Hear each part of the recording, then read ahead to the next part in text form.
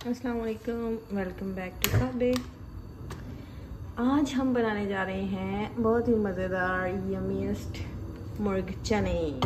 इसके लिए मैंने रख दिया है पैन चूल्हे के ऊपर। अब हम इसमें डालेंगे two tablespoon cooking oil इससे ज़्यादा मैं डालती नहीं हूँ क्योंकि मुझे ज़्यादा ऑयल वाली चीज़ें पसंद नहीं है। ये बिल्कुल मेरी अपनी ईजाद करदा रेसिपी है ठीक है? तो मैंने वन के जी जो चिकन है इसको अच्छी तरह से वॉश कर लिया था। इसके पीसेस अपनी मर्ज़ी के मुताबिक कर लिए थे। आ, और मेरे पास है एक जो है ना वो टिन है चनों का। सही है? जी तो अब मैं इसके अंदर डालूँगी ज़ीरा। ये मेरी अपनी ईजाद करदा रेसिपी है, लेकिन टेस्ट जो है वो गारंटीड है। बहुत मज़े की बनती है। अब, इस खोलते हुए तेल में मैं डालूँगी चिकन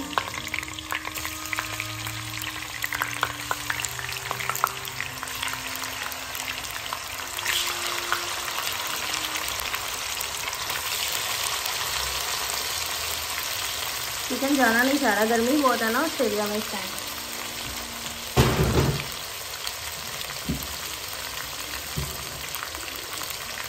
ये मैंने ले लिया है अपना लकड़ी का फेवरेट वाला स्पून इसके साथ मैं चिकन को अच्छे से मिक्स करूँगी। ज़ीरा डालने से चिकन की जो स्मेल होती है थोड़ी बहुत वो चली जाती है। कुछ लोगों को बड़ा मसला होता है स्मेल से, मैं भी उन्हीं लोगों में से हूँ। तो अगर मैं चाहूँ तो इसमें थोड़ा सा इलायची पाउडर भी डाल दूँ, लेकिन मुझे नहीं लगता इसकी ज़रूरत है। ऐसे इसकी सारी स्मेल चली जाएगी।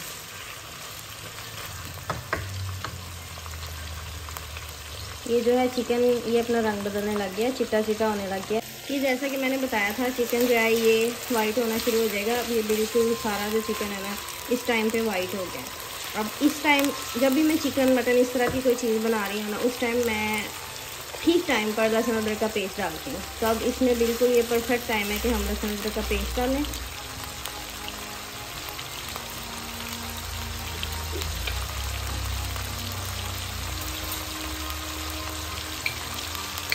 मैंने वन टेबल स्पून जो है ना ये भर के, लहसुन अदरक का पेस्ट डाल दिया।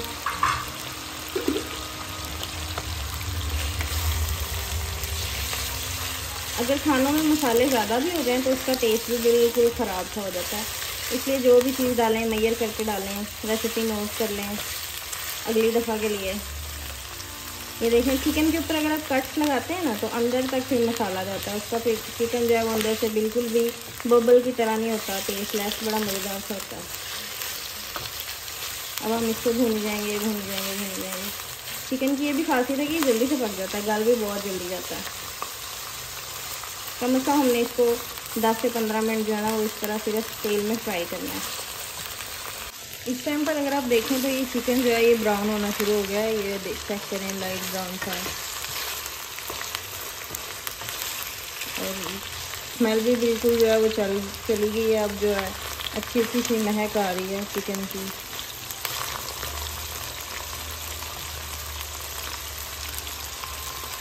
तो फाइनली मेरा जो है स्टैंड आ गया है। अब फ्रेम जो है थोड़ा बड़ा नज़र आ रहा होगा। आपको बिल्कुल चूल्हे की बजाय डिग्री का जो एरिया वो भी नज़र आ रहा है। और इंशाल्लाह इंशाल्लाह मंडे को मेरा माइक ही आ जाएगा। फिर मैं माइक के साथ इजीली वीडियोस बना सकती हूँ। अब इस टाइम पर जो है ना, वो मैंने फ्लेम बिल्कुल बंद कर देना है। और इस चिकन को इसके ऑयल के साथ ही मैंने एक बाउल में निकालना है। अब मैं आपको दिखाती हूँ किस तरह से। चिकन को जो है ना हल्का सा ठंडा होने दें पाँच मिनट बस। तो अब मैं ये मसाला जो है ना, चिकन मसाला शान का ये यूज़ करूँगी। इसको मैं चिकन के ऊपर इस तरह से अच्छे से जो है ना लगा दूँगी। तकरीबन हाफ़ पैकेट था मेरे पास वन के जी चिकन में मैंने हाफ़ पैकेट मसाले का लगा दिया।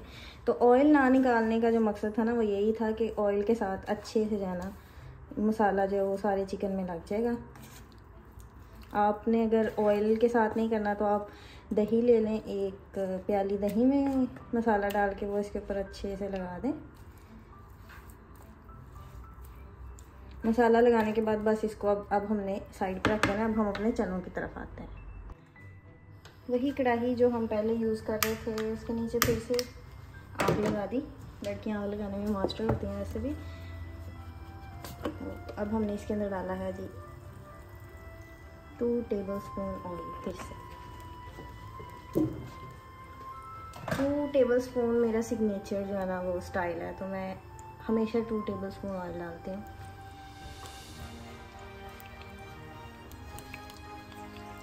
ये कटी हुई लंबी लंबी प्याज, ये मैं इसके अंदर शामिल करूँगी।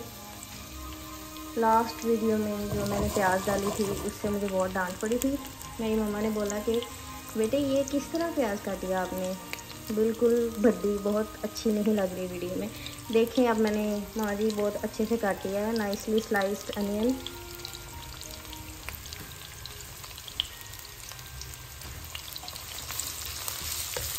सारी एक जैसी है, चाहे तो कोई नाप ले।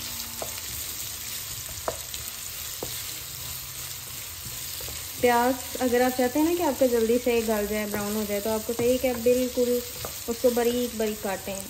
तो बारीक बारीक काटने से ना वो फिर जल्दी से घुल मिल जाता है। अब अगर आप चाहते हैं कि आपके चनों का कलर ब्राउन सा हो डार्क ब्राउन सा तो आप इसको उतने ही प्याज ब्राउन करें। जिस तरह के आपके प्याज़ों का कलर होगा, बिल्कुल उसी तरह का आपके चनों का कलर निकलेगा, पकने के बाद। तो मुझे तो डार्क डार्क ही पसंद है, इसलिए मैं थोड़े से ब्राउनिश ही जो है ना, प्याज करूँगी। अब इस टाइम पर आप नमक डाल दें। हाफ़ टेबल स्पून नमक डालें, क्योंकि जो शान का मसाला लगाया हुआ है ना चिकन पे, इससे पहले से ही ना जो है वो नमक होता है। अगर आप वन टेबल स्पून डालेंगे तो वो तेज़ हो जाएगा। इसलिए हाफ़ टेबल स्पून नमक डालें। कम होगा तो फिर डाला जाएगा, ज़्यादा होगा तो मसला होगा, इसलिए मसला नहीं होने देना हमने। अब टाइम है जी प्लेस लगाने का। लगाने का नहीं, डालने का। तो मैंने तकरीबन एक टीस्पून जो है ना वो मिर्च डाली है। इससे पहले कि मिर्च गुस्सा करें, मैं इसके अंदर डाल दूँगी पानी। हाँ हाँ हाँ ये तो लग रहा है कि मिर्च लग गई है।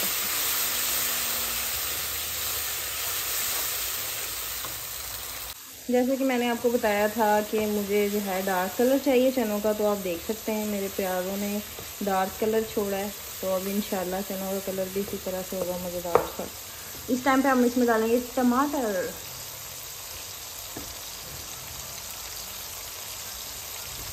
ये है मेरे रफरी टमाटर।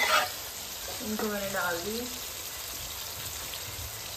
इसी टाइम पे मैं डाल दूँगी हरी मिर्च, एक कटी।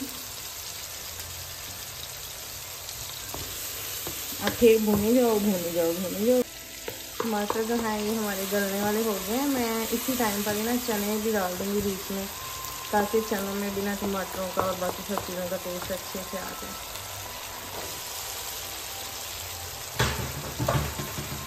अब फिर मैं इसको पाँच मिनट के लिए ना अच्छे से भूनूँगी। ये जो हमारा मैरिनेटेड चिकन है, इसको मैंने ऐड कर लिया। और हम इसको देंगे। अच्छा सा ओए ओए अभी से इतना मज़े का लग रहा है।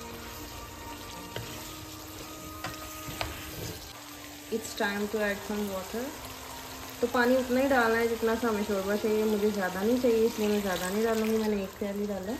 अब हम इसको पाँच दस मिनट के लिए जो है ना, पकने देंगे अच्छे से।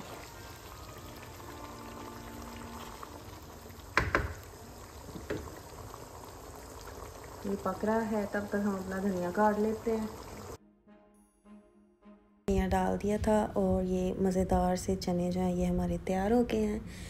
और इतनी प्यारी लुक आ रही है मुर्ग चनों की। तो thank you for watching this video अगर आपको अच्छी लगी है तो लाइक कीजिए शेयर कीजिए और सब्सक्राइब कीजिए। मिलते हैं आपको नेक्स्ट वीडियो में एक और मज़ेदार सी रेसिपी के साथ। तब तक के लिए अल्लाह हाफिज़।